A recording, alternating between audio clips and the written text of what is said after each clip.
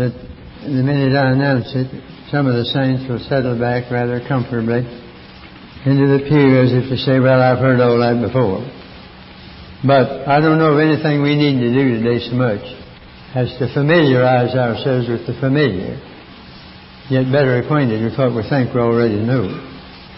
And this is Second Chronicles 7, and uh, the verses are the familiar 13 and 14. I call them the if verses. God's if verse is the 13th, and our if comes in the 14th. If I shut up heaven that there be no rain, or if I command the locust to devour the land, or if I send pestilence among my people. Here's where we come in. If my people, which are called by my name, shall humble themselves and pray and seek my face, and turn from their wicked ways, then will I hear from heaven, will forgive their sin and will heal their land. Now, have you noticed how that, that last verse just oscillates back and forth between God and His people? Just to just look at that for a moment. If my people, which are called by my name, shall humble themselves and pray, and seek my face, and turn from their wicked ways, then will I hear from heaven, forgive their sin, and heal their land. It's back and forth, all the way through. Marvelous, marvelous. And this is just as timely as it ever was in the days of Solomon. Solomon was a strange character supposed to be the wisest man. No man ever made a bigger fool out of himself than he did before it was all over.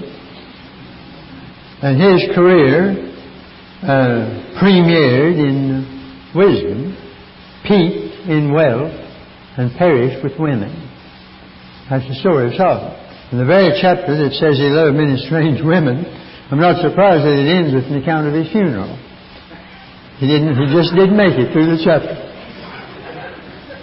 So that's the way it went with Solomon. I, I, he may, he still was the wisest man while he was wise, but he mighty big fool when he turned into a fool on this matter.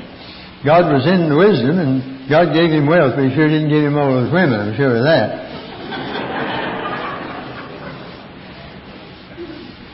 But uh, you notice here that this begins, God begins, He always does, with His people and his people begin with themselves. This is a very personal old book. Search me and know my heart. Try me and know my thoughts. See if there be any wicked way in me. And lead me in the way everlasting. Now, the man who prayed that wasn't passing the book. Personal all the way through. When David committed his terrible sin, he needed to do something besides grab a harp and start singing songs. He needed to get right with God. Against thee the only have I sinned. I used to wonder why he said that. I thought he'd sinned against Uriah and Bathsheba and everybody else. But he realized that the worst thing about sin is it's something between us and God. Against thee, the only.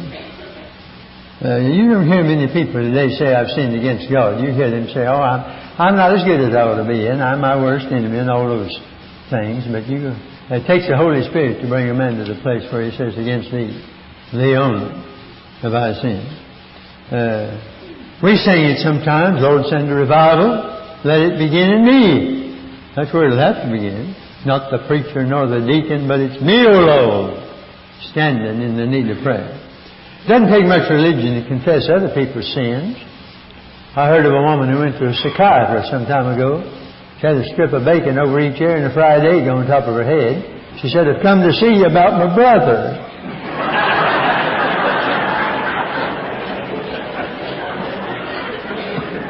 She needed to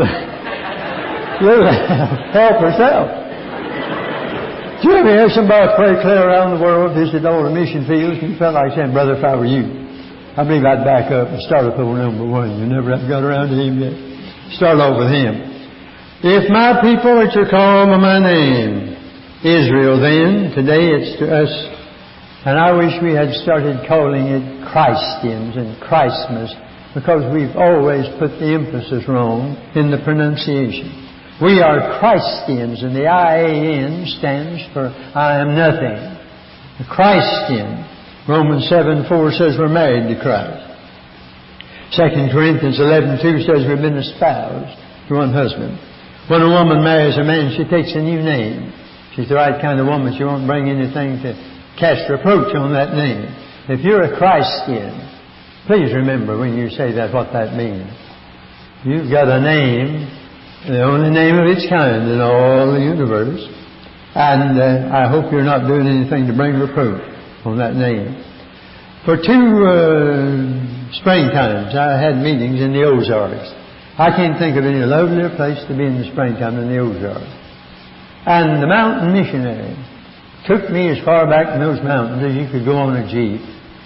And he told me about old Leonard Lamb, who had been a sot and a drunk till he was 72, and then God saved him. Really saved him. And it was the talk of the neighborhood. And he stayed saved, too. And one day he got to thinking, said, I need a little money, and folks know I'm a Christian now. Maybe if I'd go over to the bank, maybe they'd help me out a little. He went, the banker had heard about it. He said, Tell me about what's happened to you. And he did. The banker said, Well, sign your name there, that piece of paper. We'll let you have a little money. He came home and said, This is the first time my name's ever been worth anything. You know why? He had a new name. That's what made the difference. He changed it from non-entity to identity. That's what God does with people when they get saved. He gives them a new meaning. They're wonderful. And that's been the way with those uh, poor characters that saved, whether they're the uttermost or the outermost or the guttermost or whatever. They can come at one end of the social ladder and get saved, but I know a friend of mine now with, in heaven with the Lord. He was a Harvard man, head of the drama department of the University of North Carolina, just across the street from where I live. Oh, I like to hear him recite great literature. Read the Bible as literature, but an infidel. Never went to church. And uh, his dear wife prayed for him for years that he'd be saved. One night he got saved in the middle of the night, all by himself, up in his room. God saved him marvelous. Got up next morning, came down the stairs, and said to his wife, I'm going to church with you tonight. Became a member of the First Baptist Church, became a deacon in the church. He and I went out a lot and had lunch together. We liked to write, and I liked to hear him talk because he had an intellect that was marvelous. And I said to him, Did anybody in all these years of your infidelity ever say a word to you about Jesus? No. Nobody. No wonder the Lord visited him at midnight. Nobody else would to talk to him about his soul. Thank God the Holy Spirit wasn't afraid of him. But I think folks thought, well, he's so smart that I wouldn't know what to say, and so they didn't say it. But thank God he got saved. Now that's one end of the social ladder. But uh, either way, you're saved if they trust Him. Now we have in this passage four things to do to have a revival. Uh, four notes make a chord, and I don't believe we can claim just one part of it, not the rest. We ought to use all four notes. Uh, God won't settle for a fourth of this text. You can't have a revival without prayer, but you can have a lot of prayer and never have a revival. And I don't minimize prayer. It's the thermometer of a preacher or of a church. What a church is on prayer meeting night's what it is, not Sunday morning. You can't tell much about a church on Sunday morning. All the morning glories are there then, blooming. But you can't tell much about it then. But Wednesday night's pretty apt to tell it. That's the thermometer. And uh, somebody has said what a preacher is in his prayer closet is what he is. Just that. That's good taste. And I know some prayer meetings in the Bible that were a waste of time. I've been in some others that were. Moses stood before the Red Sea and God said, Wherefore criest thou unto me? Speak to the children of Israel that they go forward. There's a time to pray and a time to proceed. When it's time to proceed, the thing to do is quit praying and start proceeding. Some folks never get around to proceeding. They just want to pray all the time. I won't do it. And after the battle of Ai, Joshua lay on his face before God. That's a good posture. More people ought to be like that. God said, Get up! Wherefore liest thou thus upon thy face? Israel hath sinned. Now only one man had sinned. But one man in the church not living right, what do you think that means? He's a, a dangerous influence. One bad apple can spoil a barrel of good apples, give it enough time. And so God said, we've got to deal with this man. And they did deal with him in the valley of Achor. And Hosea tells us that the valley of Achor shall be a door of hope. And I believe the valley of Achor for the church today, the door of hope is that valley of Achor where we deal with sin individually and corporately in the church. God won't set us for anything less than that. Now it says here, if my people shall humble themselves. That's the first requirement. I don't know of anywhere in the Bible where you're told to pray for humility. You can take care of that. You do it. As a little child, Matthew 18, 4, under the mighty hand of God, 1 Peter 5, 6, in the sight of the Lord, James 4, 10. You do it. Some people sitting around waiting for a lovely feeling to come over them, have certain kind of thrills before they think they're ready to go out and serve God. No. You stir up the gift of God that's within you. You do it. You humble yourself in the sight of God. We like to brag about a lot. Baptists are bad about bragging. I told them out at the convention last year, all that army of Baptist preachers, and I had said it to them 18 years before in Kansas City. I said, we like to boast too much, and we're out here now where they got a lot of smoke. I think the way we can, that we like to blow, I believe we can blow it out in three days. that didn't helped me to win friends and influence people. So I had to say it. A lot of what I hear today sounds more like chest thumping than it does heartbreaking before God. In the sight of the Lord, James 14. Uh, and uh, if we'd learned humility, it would spare us humiliation. God has to give us a spanking sometimes. He has to humiliate us. And you remember that man who, seeking to justify himself, said, and there's plenty of that going on, why I do this and why I don't do that. Self-justification. God says, judge yourself. If we quit justifying ourselves and start judging ourselves, something would begin to happen. Old Mel Trotter was having a prayer meeting one time, and everybody had prayed but one man. Mel said, pray, brother. He said, I can't. Mel said, what's the matter with you? Oh, just can't, can't think of anything to pray about. He said, confess your sins. Said, he can't think of any, Mr. Trotter. Mel said, get on there and guess at it. And he said, got down on his knees and guessed it the very first time. If you could ever, ever turn off TV long enough, if anybody ever does, to let God have a word, you'd guess it the very first time. It's not that hard to find what the trouble is. If my people will seek my face. Now what does that mean? You've heard it all your life. You had to get up tonight and tell what it means to seek God's face. What does it mean? I will go and return to my place till they acknowledge their offense and seek my face. When thou said, Seek ye my face, my heart said unto thee, Thy face, Lord, will I seek. It means to seek God's favor and the smile of His approval, so that He makes His face to shine upon us, lifts up the light of His countenance on us, and gives us peace. Some things hide God's face, nothing between my soul and the Savior, so that His blessed face is not seen. That song was written by a great black preacher in Philadelphia. His son led singing for me years ago in three meetings in uh, uh, Grand Rapids and Toledo and Rockford, Illinois. I remember. And I like to hear him sing his daddy's song. Take your burden to the Lord and leave it there, for instance. But this one particularly. You know, the Japanese hated to surrender. They had never lost a war. And the Oriental mind does not like losing phase. When they had to march out on the deck of the Missouri before Wainwright and MacArthur and the rest of them signed the surrender, that was rough. That was hard on pride. When you surrender Jesus Christ, you may lose face, and we need to. We could have revival anytime if we could save face and do it. But you can't do it. You have to humble yourself and confess what's wrong. I heard a woman say she was teacher of a ladies' Bible class for ten years before she ever got right with God. He said, I finally went to an old Methodist uh, altar and got on my knees and said, Lord, I'll go to India, I'll go to Africa, I'll go anywhere. The Lord answered my son and said, I don't want you in Africa. I want you to get right with Susie right here in the church. He said, I hadn't thought about that. But it started over. Lord, I'll go to Africa. She said, I'd rather go to Africa anytime than get right with Susie. Lord said, get right with Susie right here in the church. She said, I did and we had revival in our hearts.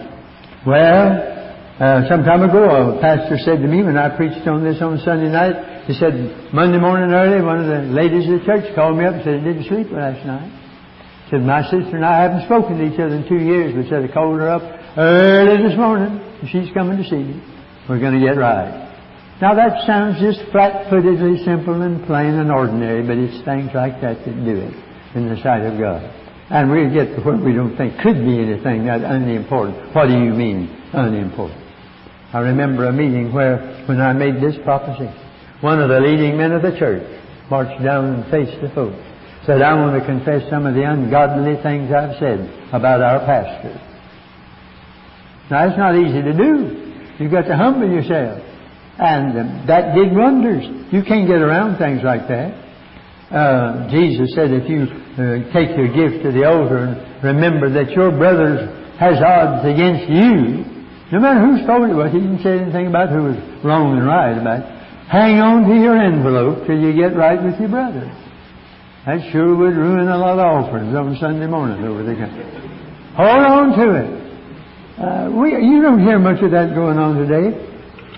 I believe that some people are sick, even physically sick, because they have a grudge and unforgiveness in their hearts, and it has festered until it has poisoned them, not only spiritually, but sometimes affected them physically. They run around to psychiatrists and here and yonder and counselors. They get right with God and get right with somebody.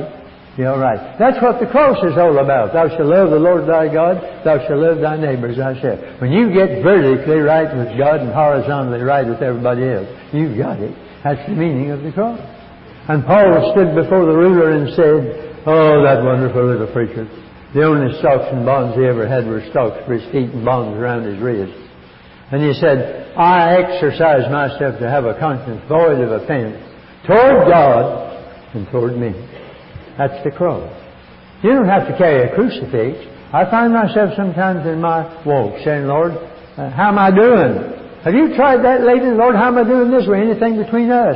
Is there a point of rebellion anywhere in your life between you and God? You'll do everything else in the world, but that you won't do. You can't get this many people together without some folks that need to make a vertical righting of things. And then, Lord, has somebody got something against me or there's something between us? No matter whose fault, I'm supposed to make the first move. Now you may not be able to get him right, but as much as lives within you, live peaceably with all men. Have you done that? It's things like that we don't pay much attention to, but that's what the Word of God means here. And that's why some of our homes are not shining for Jesus. You haven't got a home, you just got a house. Have you got a house or a home? A home for by the Holy Spirit. People are living right this way and this way.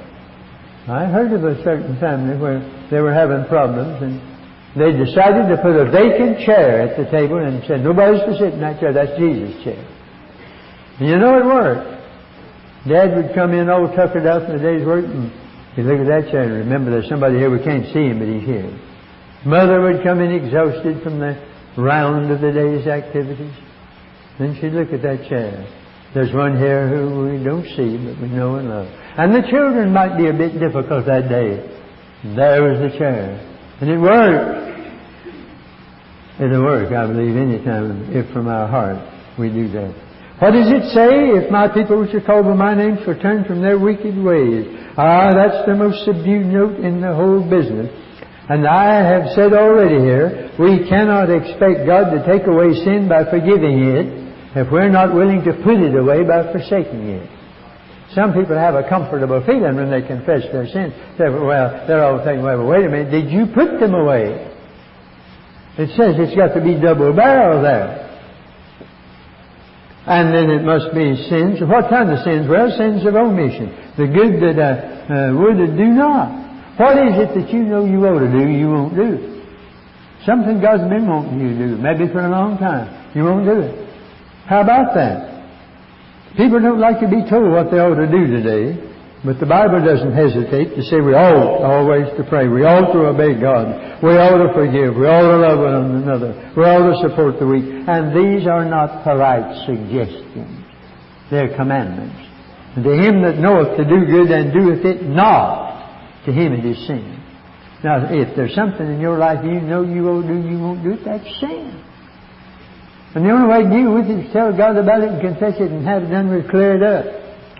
And then turn it around, sins of commission. What is it that you're doing you ought not to do? Same verse, Romans seven nineteen. the evil that I would not, that I do. The homiletics teachers, some of them used to, uh, they used to call it homiletics. They say we ought never do any negative preaching. Well, you'd have to throw away a lot of pages out of the Bible. The righteous man walketh not in the counsel of the ungodly, standeth not in the way of sinners, sitteth not in the seat of the scornful. Nehemiah said, So did not I, because of the fear of God. We're to walk not as the Gentiles, be angry and sin not, steal no more, let no corrupt communication proceed out of our mouths, grieve not the Holy Spirit, no foolishness, foolish talking or jesting, no fellowship with the unfruitful works of darkness, be not drunk with wine, put on the Lord Jesus Christ, and make not provision for the flesh. Maybe it's just one little thing. The shelf behind the door. The shelf behind the door. Tear it down and throw it out. Don't use it anymore. For Jesus wants His temple clean from ceiling to the floor. He even wants that little shelf that's hid behind the door. Have you ever done anything about that little shelf? You think you're getting away with it, not in the sight of God. I preached in Capitol Hill uh, Baptist Church, Oklahoma City, years ago in a meeting, gave the invitation. A young fellow came down the aisle, put a pack of cigarettes in my pocket, said, I realize they don't belong in the life of a Christian. Now he was taking the matter in his own hands. I hadn't preached a sermon on tobacco. You think I'd waste a whole sermon on tobacco? I tell them, if you've got yours alone, kindly leave it on the steps. Now I guarantee you no hog or dog will get it till you go out. I wouldn't want to preach a whole sermon on it. But he was convicted. And he did the thing he ought to do. And uh, that's the way God puts it very plainly. Disposition. How about that? Having therefore these promises, dearly beloved, let us cleanse ourselves from all filthiness of the flesh and spirit, perfecting holiness in the fear of God. Bible names a lot of these sins of the spirit. Carnality, envy, strife, divisions, whisperings, swellings, tumors, schisms, various debates, contentions. Oh, so many of them. We have some people today who wrap themselves up in the rags of their Pharisaic self-righteousness. Now they're the other way. They're the other extreme on this separation. I mean, they only get half of it. I don't drink and I don't play cards and I don't smoke and so on. Of course, they, they ought not. I'll agree with them. But you feel like saying, well, neither does a gatepost. What are you doing? Let's get the other side of the coin. One of the great problems in our church today, we don't see both sides of the coin. Every coin in God's collection has two sides. You never saw a one-sided quarter in your life. And, every, and whether it be the sovereignty of God and man's free will, or, or whether it be Calvary and the resurrection, or whether it be Jesus, Son of God, Jesus, the Son of Man, faith and works, always other side, some folks get one side of the coin, and they go through life lopsided. They don't get balanced. You need to see both. So, uh, the Pharisees were the most separated crowd you ever heard of. They wouldn't even eat an egg that had been laid on the Sabbath. Now, that's going after it with a vengeance, if you ask me. But they didn't know the Lord. Why were you predestinated? Never mind about trying to figure it all out. You were predestinated to be conformed to the image of God's Son. God saved you to make you like Jesus. You any more like Jesus now than you were ten years ago?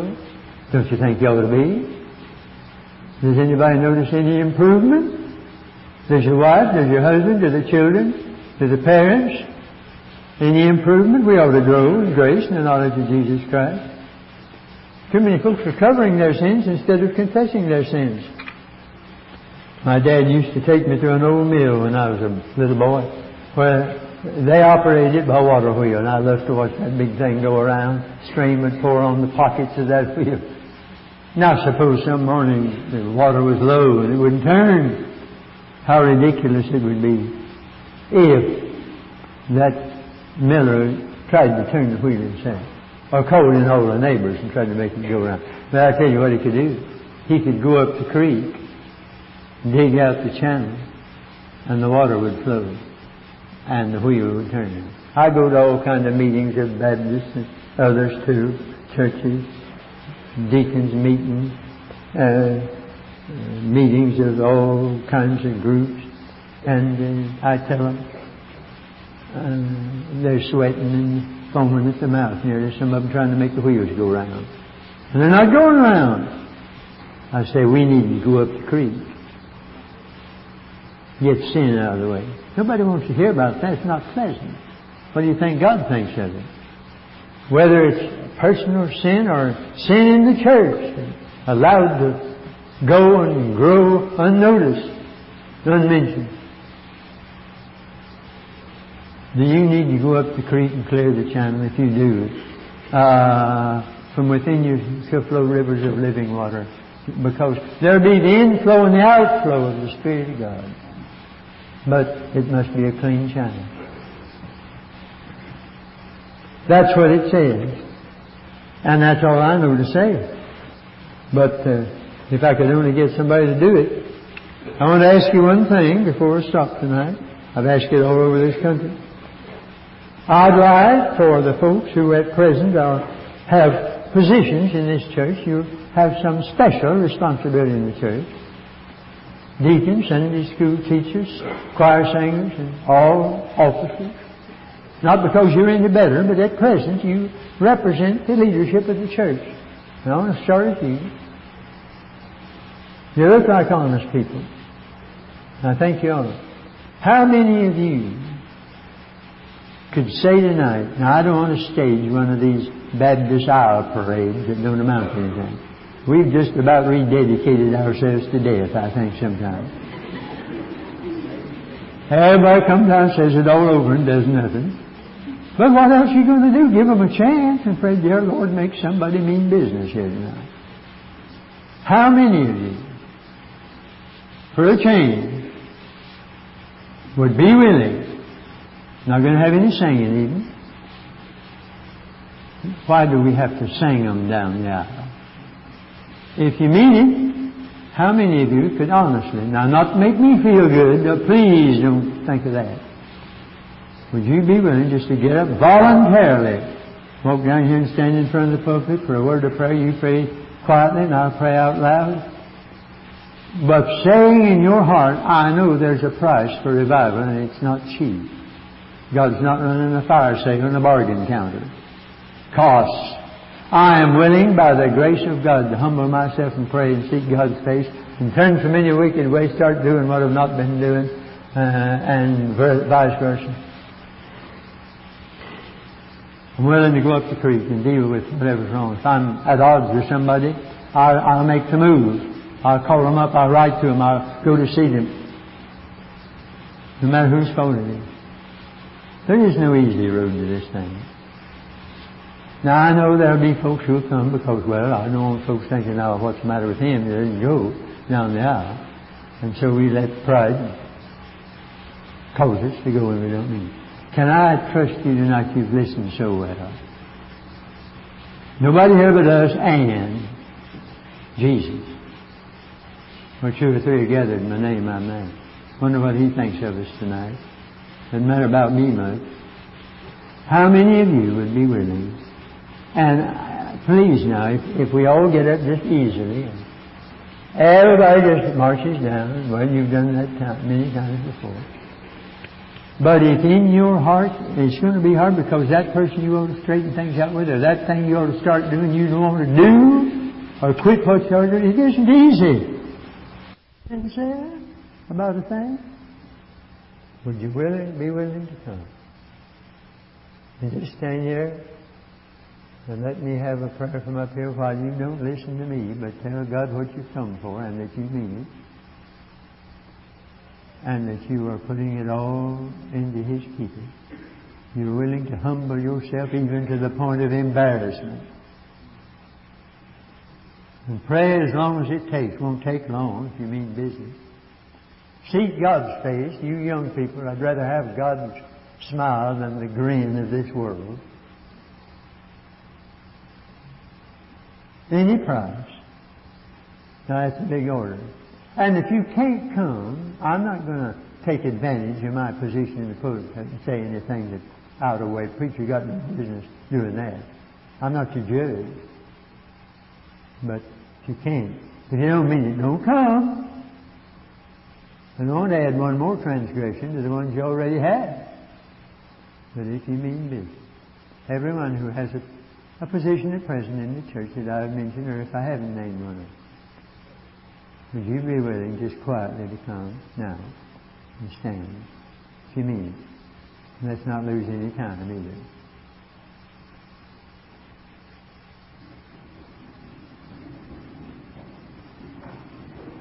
You be the judge whether you really mean this thing or not. And as you stand here, dear friend, you say, well, God knows what, what it is, yes, but tell Him and tell Him that the best way you know how you mean business about this. Maybe something that you've been hanging on to or something you ought to be been doing years ago and haven't. Maybe it's your disposition that doesn't please God, makes it difficult sometimes for others. Oh, I don't know. I shouldn't name anything. You know what it is. God will show you. Father, we haven't come down now for the walk, Lord. I believe these people are sincere. Help us to mean it from our hearts. And then we've taken the step. Now help us to take the walk. Well, it takes more than one step, Lord. Help us just keep stepping, walking in the light. But begin with the first thing. Whether it's the vertical relationship to God or the horizontal relationship to somebody else. Help us to face the cross and make it your ambition to have a conscience void of offense toward God and man. Now that's not sinless perfection, but it is the goal of Paul and it'll be the goal of every Christian. Make that your goal tonight. You cannot be faultless, but you can be blameless. Little child writes a letter the best way it can. It's not faultless, but it's blameless. And we can, we like to argue about it instead of going as far as we can go. Lord, I present to these dear people as they present themselves to Thee. And while our heads are bowed, are there other members of this church who do not hold maybe a position in it at present? But you'd like to stand and say, Preacher Havner, I want to do that too. From my heart, now I'm not standing for the looks of it.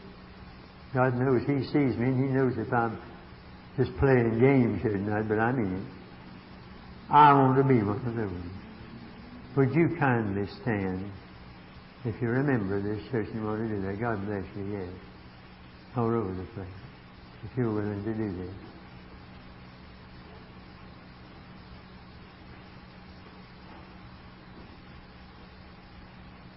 I like the way you're getting up deliberately, thinking about it. But I'm not trying to beg you to stand because if you're a Christian, you ought to be up. You just wait a moment. If you're a visitor here tonight, I'm sure your church needs revival. I don't know one that doesn't. Would you like to say, maybe I came over here for God to give me some kindling wood to start something over in my place. I mean it tonight. Would you stand with us? If you're a visitor from somewhere else. God bless you. Yeah. My meetings, so often we have a lot of visitors from other churches and other denominations. I like that. If we can start something somewhere else we didn't have any dream about if they got a touch of the message.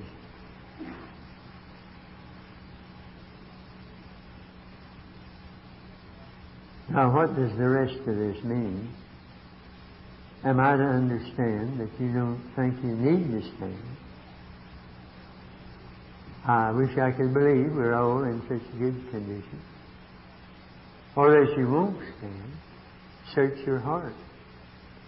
Are there others who would be honest enough to do this one thing more? Would you say in your heart, preacher, your sermon did not go in one ear and out the other. I'm not, it's touched me more than I look like right now. But I believe you preach the Bible. Pray for me that I get to the place where I will do what I ought to do because I know I ought to do it. I acknowledge at least my need. And pray for me because God spoke to me in the sermon. And may I and pray that I may get to where I will say one great big yes to Jesus. That's all. Anybody want to stand on that? Yes. Yes. It shows you've been listening. God bless you. God spoke to you. Oh, bless your heart. Anybody here, the reason you couldn't stand is you're not a Christian, or you're not sure you're a Christian. I've been talking to professing Christians tonight. Would you, by standing, say, Brother Havner, I, I'm not happy about the way I feel about being saved. Sometimes I don't know if I died now, will I go to heaven or not. And that's too important to pray with. I need to know that I know that I know that I know that I'm a child of God. And I'm interested. Pray for me. That I may get to where I know whom I believe. Anybody in that category, would you just quietly stand? Pray for me. Not if I don't see you, the Lord will. This is for everybody. There could be somebody wandered in here tonight without the slightest idea doing anything about it. But the Holy Spirit, not Havner, but the Holy Spirit, spoken to your heart. Would you acknowledge, I've heard the Word of God tonight. I believe you're right. I need what you're talking about. Pray for me, that I may get the blessing God has for me. Anyone else? For a prayer. God has spoken to a lot of hearts tonight. Brother Pastor, so many of these these people are mostly your people, and I want you to close any way the Lord leads you, but thank God for this response.